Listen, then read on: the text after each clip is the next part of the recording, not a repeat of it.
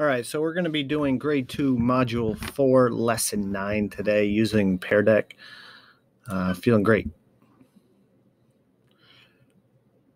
All right, so this is grade four, or grade two, module four, lesson nine. Objective is use math drawings to represent the composition when adding two digit to a three digit addend. All right, so I'm only going to do one example of what I expect.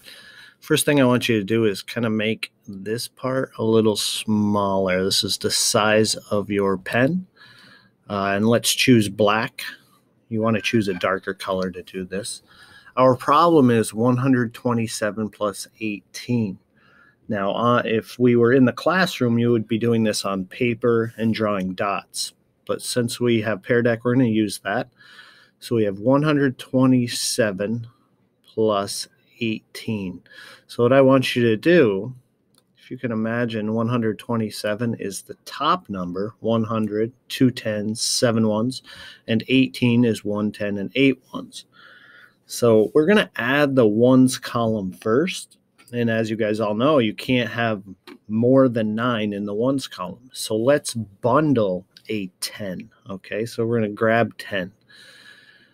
Um, here we have eight. Here we have seven. So if I have seven, in order to make a 10, I have to add three more dots. So seven, eight, nine, 10. And I'm going to, I call it circling, but really you're like lassoing them.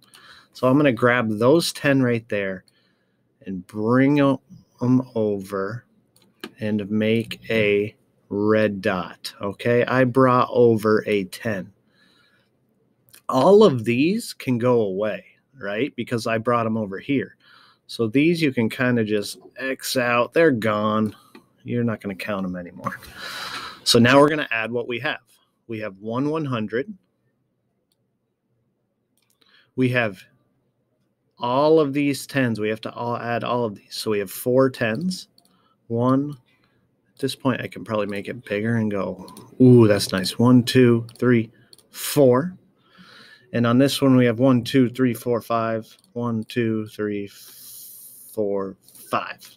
All right, now let's do the addition. This part's a little trickier with the mouse tool, but we want us to line it up vertically as best we can. And remember, neatness counts in math.